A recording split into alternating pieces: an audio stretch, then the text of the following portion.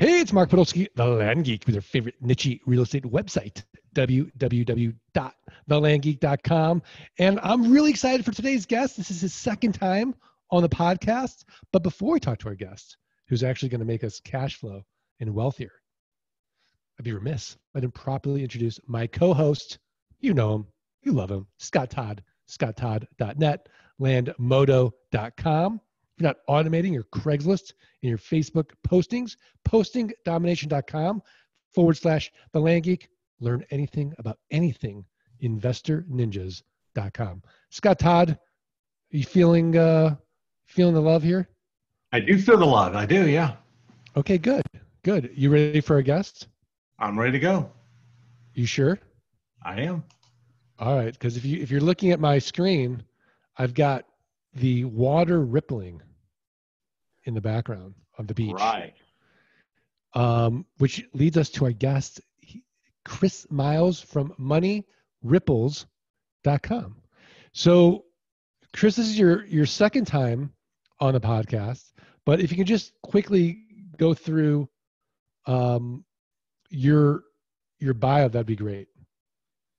Yeah, yeah, like you said, you know, it's uh, I'm basically the anti-financial advisor, right? Um, so all the stuff you've heard people say about save everything, spend nothing, save forever, and mutual funds and all that kind of stuff, I'm completely against that because 18 years ago I started out being that mainstream financial advisor, and after about four years realized looking at the real numbers, the evidence, it never works. It's never played out to where people become truly financially free. So, two, 2006, I quit, vowed never to go back to teach people about money again. I would just teach ballroom dancing and stay that, that route and uh, do mortgages as a loan officer and that kind of thing.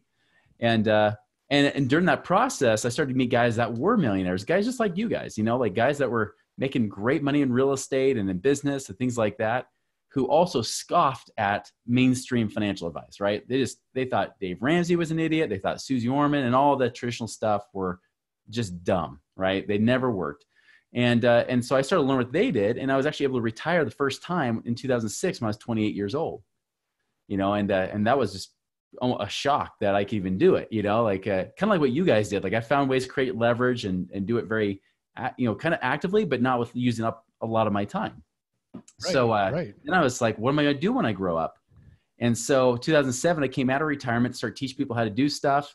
Uh, brief Reader's Digest version. I went through the recession, went from millionaire to upside down millionaire, and then battled my way back out, clawed my way back out uh, with no money and no credit, but I was able to dig back out of that hole, pay off debts and everything else, and was able to uh, be financially independent once again, December of 2016.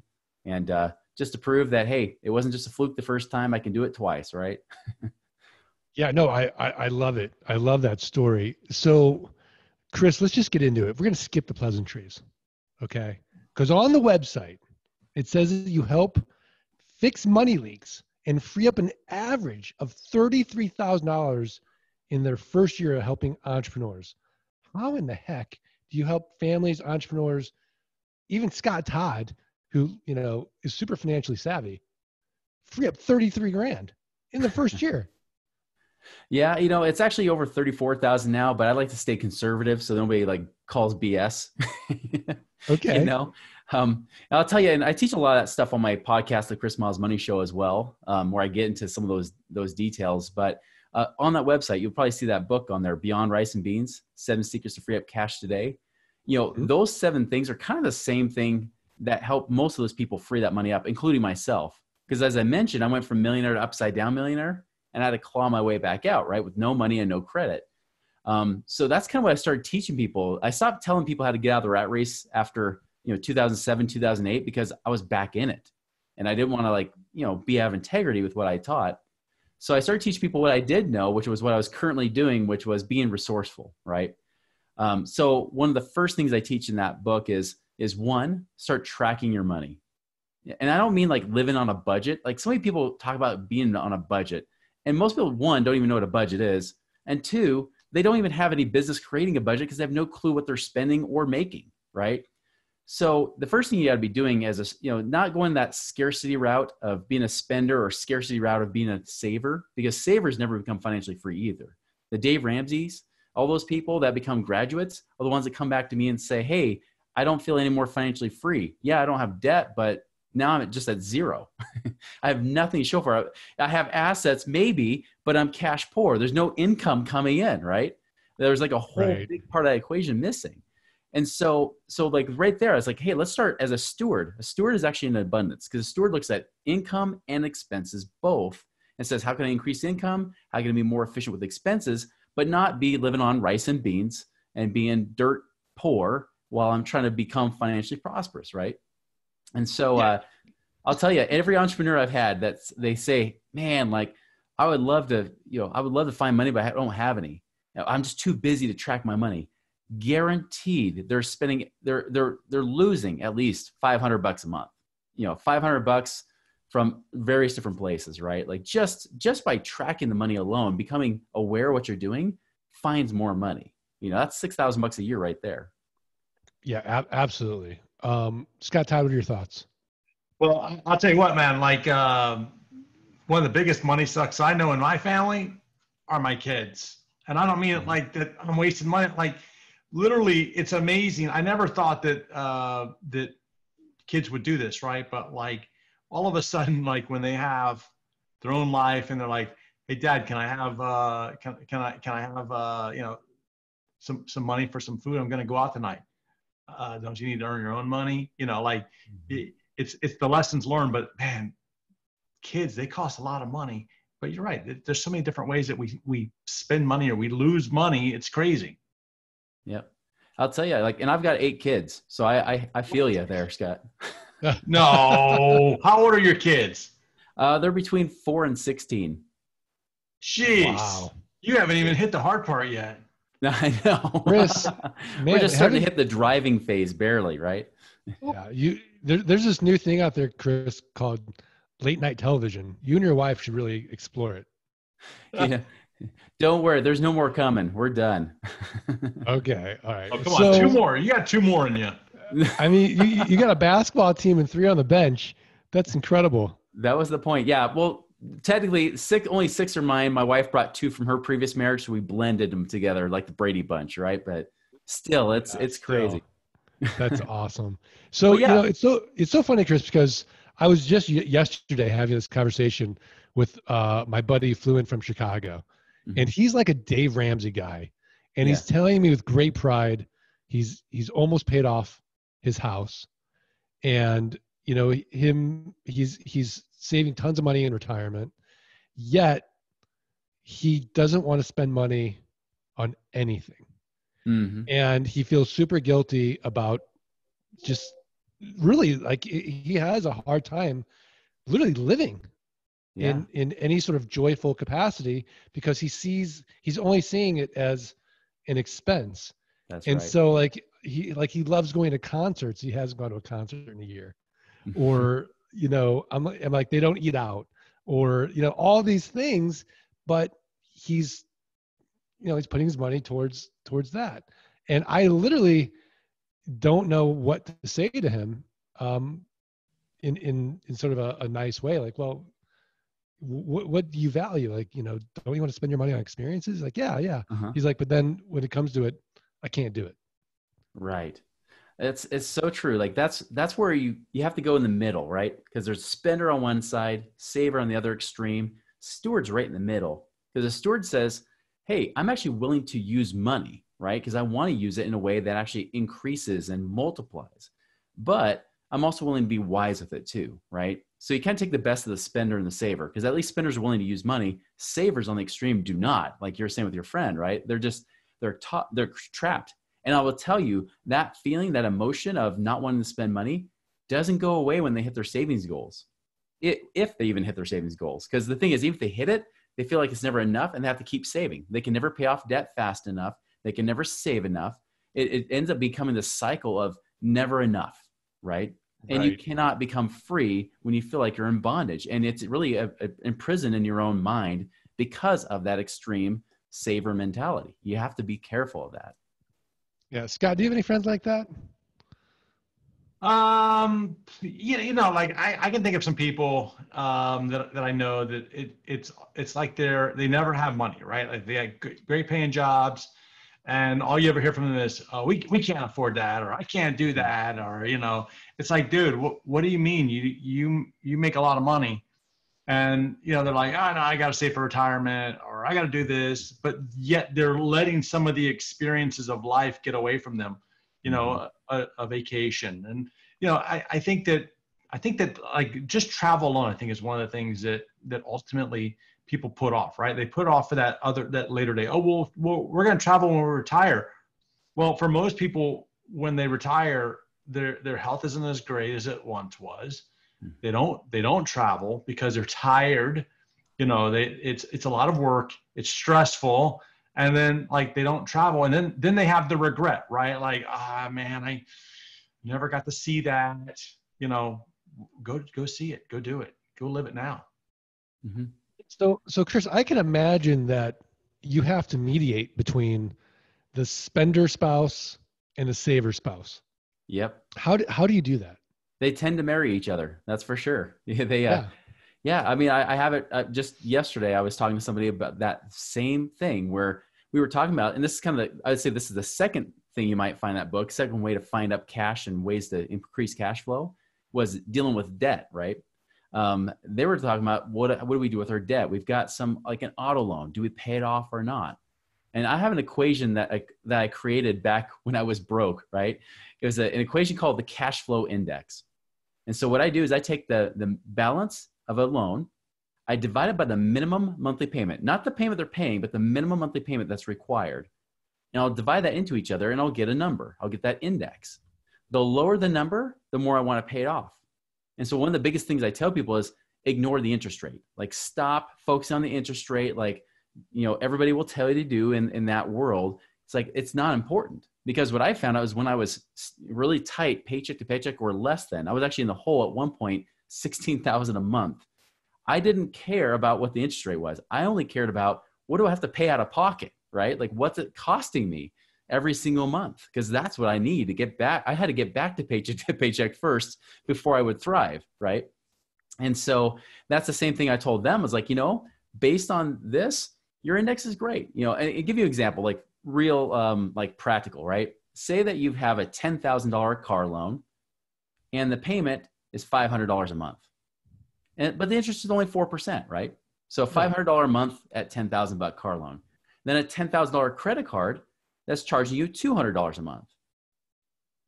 Now, say that's at 13%. So it's a higher interest rate. So $200 a month credit card at 10,000 or $500 a month car loan at 4%, right? Now, naturally, what is Dave Ramsey going to tell you to pay off if all you have is 10 grand? Credit card debt. 13%. Credit card debt, hands down, right? But real life has taught us that that's not wise. Because here's the thing you, yeah, you pay off the credit card, cool, you freed up $200 a month but you're still making that $500 a month payment on your car. But if you say, hey, wait a minute, if I pay off that car with the same money, that's $500 a month. Now I've created options. I've created this buffer, right? And that 500, I could always apply back the credit card and pay it 700 bucks a month to pay that credit card off quickly anyways. Or I could do something else with that money, right? You get choices. And, and so many people get caught up. And they, in fact, in my experience, people almost always pick the opposite of what they should do which is like the most financially savvy thing to do in their situation because of the emotions or because of all these myths have been taught out there, right? But when it comes down to it, it's like, no, like you can still, in fact, you'll probably end up paying off your debt faster when you have that extra buffer. But if something happens with your income, especially if you're an entrepreneur or investor, if you know income drops one month or expenses go up unexpectedly one month, you know, yes, you got to have some reserves, but you also got to understand if, hey, I want to make sure that no matter what, that baseline expense is lower. So I can deal with those little waves. And so you want to get rid of that thing that has the biggest bang for your buck, the biggest ROI when you pay it off, right? Interesting. Scott Todd, this is a, a new way of looking at, at interest and debt. What are, what are your thoughts? Okay, so I actually have a question. So, okay, look. Yeah. Okay, so I've gotten rid of like credit cards and car loans. All that stuff is gone. Mm-hmm. I got my house and I got a student loan. The student loan, you know, not that much money. The, here's the thing: both the interest rates are pretty dang low. Yeah. And the debate takes place. Like maybe I'm tired of just writing that check to the student loan company after all these years, right? Like I'm, it's like, man, I just, I'm sick of this company. I'm sick of this thing. But logic tells you I should never pay that thing off. It's like 3% a year, Mhm. right? Logic would tell you don't ever pay it off. Take the money and invest it. Emotionally, I hate the thing. I want it gone from my life. So, Mhm. like, what's your advice? Do I go out and I pay off this thing that I'm tired of writing the check to the company, or do I stay stay and keep investing the money in things that's going to earn me more money and look at the three percent as a as a as a gift?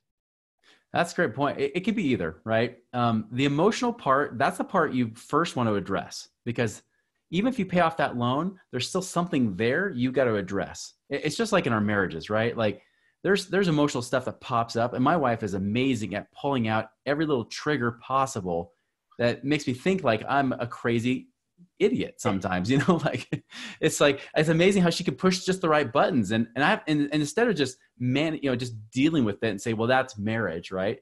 I have to figure out well why does it trigger me so badly? You know why is it when they, my kids you know waste food that i spent time cooking you know and they want to throw it in the trash why do i get mad at them? You know like what's behind that belief that's always the first place to go right um, so, and sometimes it's in, unmanageable, and sometimes you just have to say, you know what, maybe I'm going to pay it off because I can't figure this crap out, you know.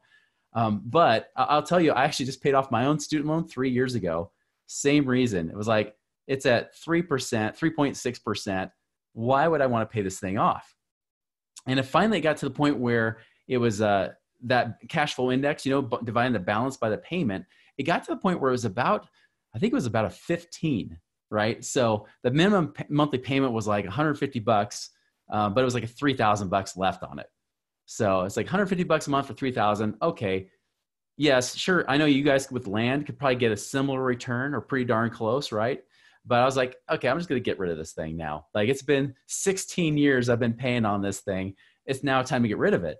But I enjoyed every minute trying to leverage not paying it off, you know? Um, and so that's the thing is like you do have to find, figure out the balance figure out the emotions first if that's something like where logic is conflicting the emotions figuring out what's behind that right?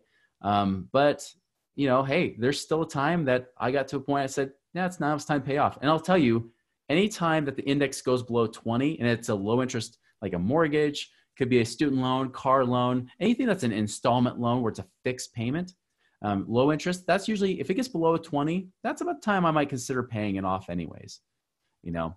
Um, now i'll tell you mortgage though i may never pay off depending on the situation.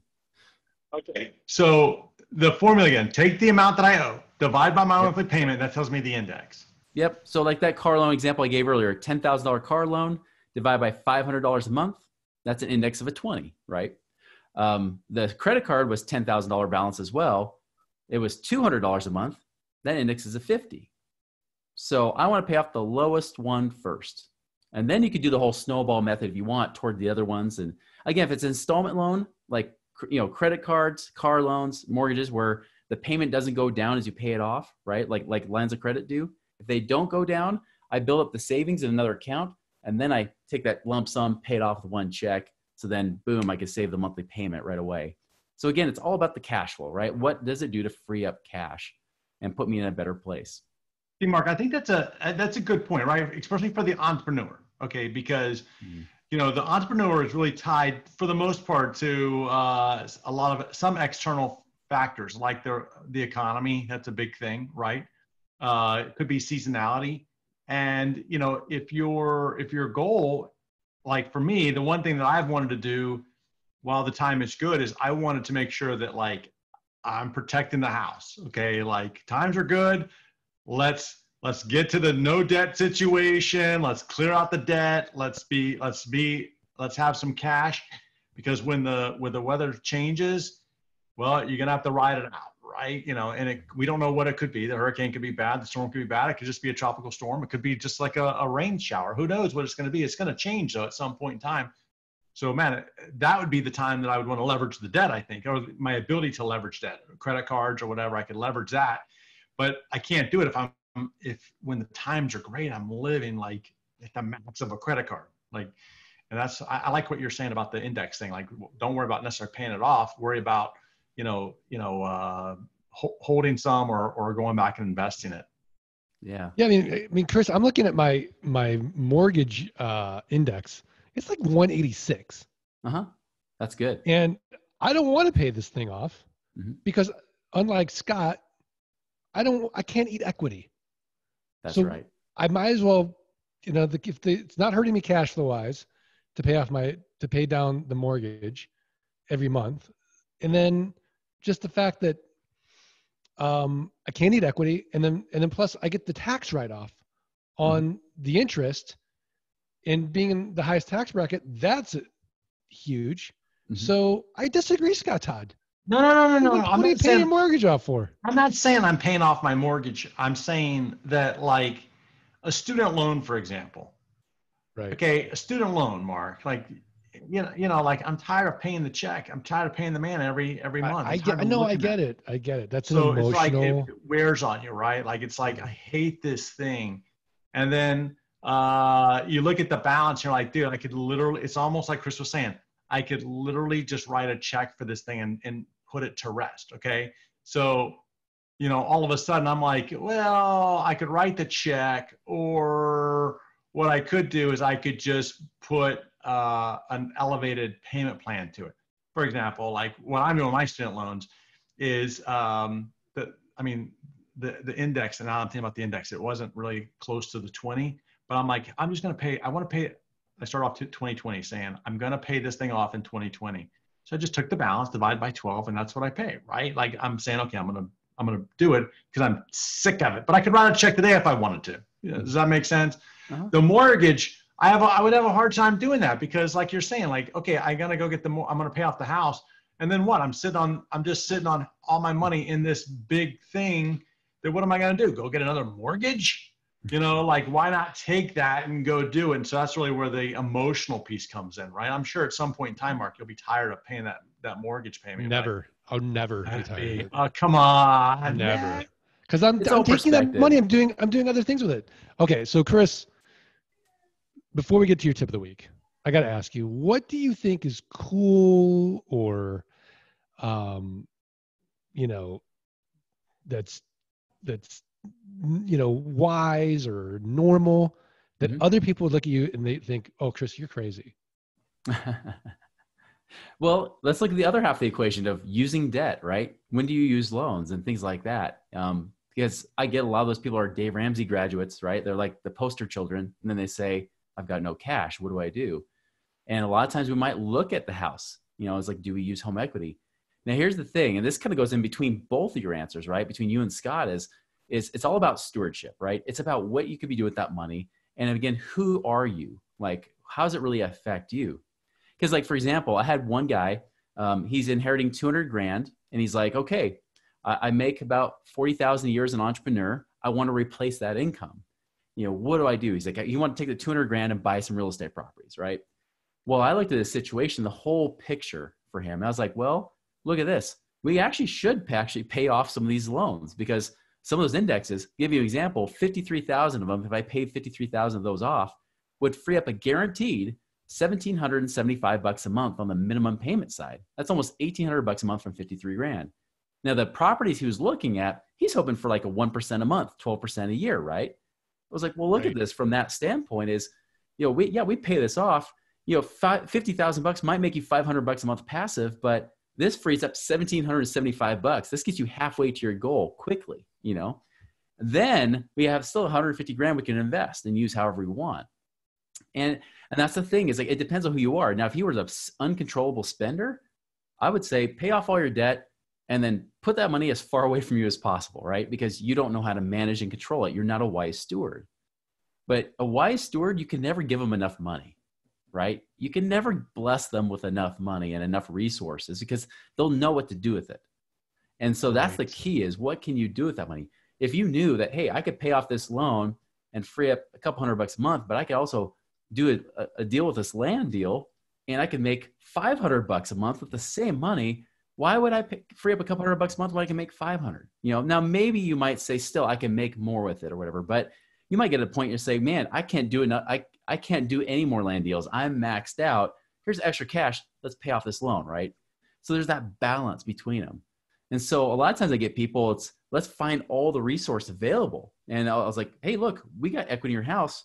If we know what to do with it, let's use it to generate some real cash flow here because as long as it beats the monthly payment, and I think it should at least double the monthly payment. And most HELOCs, for example, if you get a HELOC for $100,000, you're probably going to pay about 500 bucks a month. My goal, make at least a thousand bucks a month of that money. If not, maybe we should question whether or not we use it. Yeah, I, I, I love this. And, and Scott, based on what he just said, you and I should have as much debt as possible because we're making 300 to 1,000% on our assets. And we're making Right. cash flow. Right. We almost Okay. shouldn't spend money on anything else except for raw land. Correct. That's right. No, yeah, I'm kicking myself right now for spending some money. Hey, uh, okay, Mark, like I'm gonna go on a limb right now. Okay, like here- here's what I'm gonna do. I'm gonna give us like a big rating boost, ratings boost right now. Here's what we're gonna title this podcast. We're gonna call this "Dave Ramsey is wrong." We're gonna put that on YouTube. We're gonna put it on uh, our podcast. All the Dave Ramsey people are gonna come and they're gonna hate on us, which is gonna be great. Um, what do you think? I love I love it. I Oh, yeah, love that's my tip of the week. We got a title. Um, yeah, no, I love it. Um, I- I think it'll be great, and as long as we have Chris managing the the YouTube channel and the comments. right. Yeah. Hey, Then- clarify. then I think Dave. Ramsey has some good stuff, but he can only get you to so far, right? Wealth, not from what he teaches. You know, um, I've seen where he works for people, but in the context we're talking about, if we want real financial freedom, there's going to be a, you're going to hit a ceiling, and you're going to get frustrated, and and that's why because his his his stuff only works to a point of. It's usually meant for people making forty thousand bucks a year, right?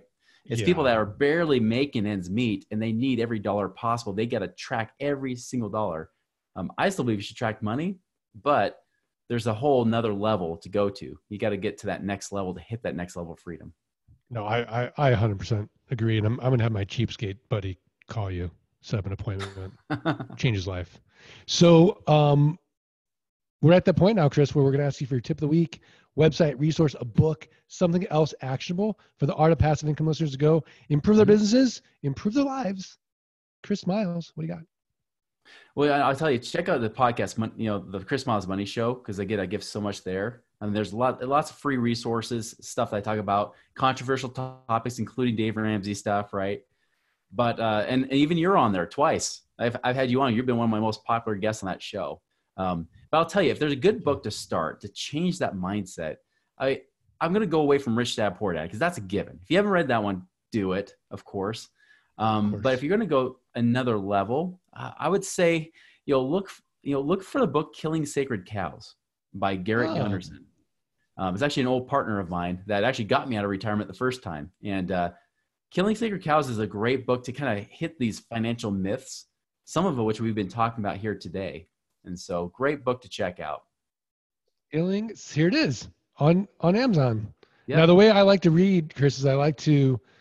Oh, it does have an audio. I like to get the book, Mhm. and then the audio, and then I listen to it on two x speed and read at the same time, Yeah. and um, and that way I'm totally immersed in it, and I you know I don't have uh, you know my mind doesn't wander while I read it. Uh, all right, that's awesome, Scott Todd. You're you're in trouble, man. That was a really good tip of the week. What do you got? Yeah, that that's a little difficult to uh, to kind of balance against. But here, Mark, let me try this one. Check out the website data pad dot app. Data pad dot app. Okay.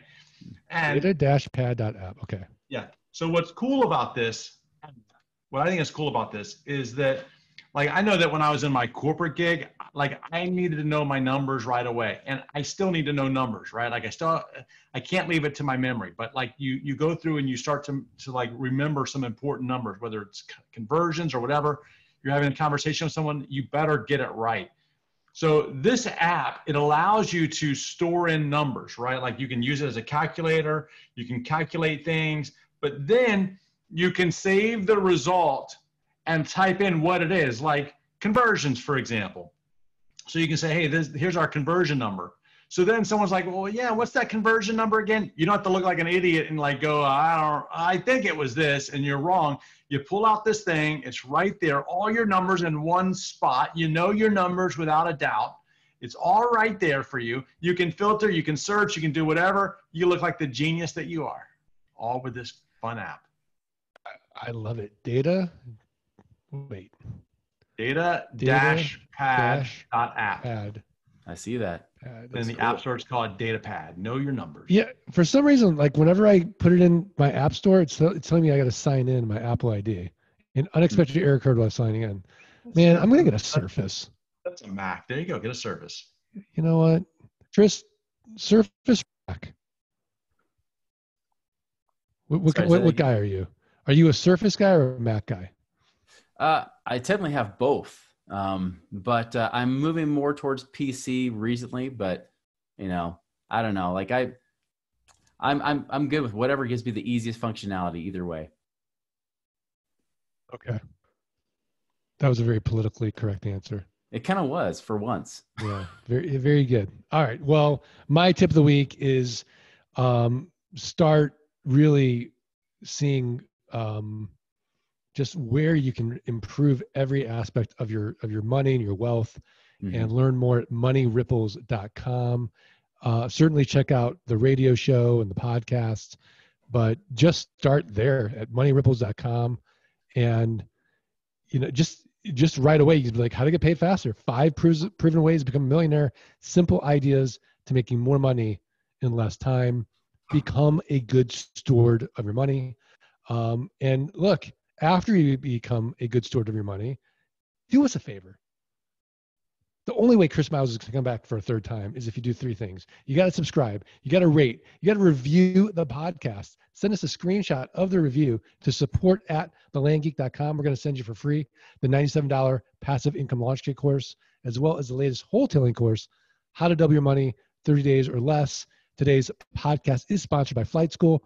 Just learn more. Go to landgeek.com forward slash training. See how 16 weeks in flight school can literally transform your life where you make so much passive income that you have to hire Chris Miles to help you figure out where else you want to deploy it and leverage it. So, Chris Miles, are we good? We're great, man. Awesome. Thank you so much for coming back on. Scott Todd, are we good? We're good, Mark. All right. One, two, three. Let Let freedom, freedom ring. ring. Thanks, everybody. Not bad.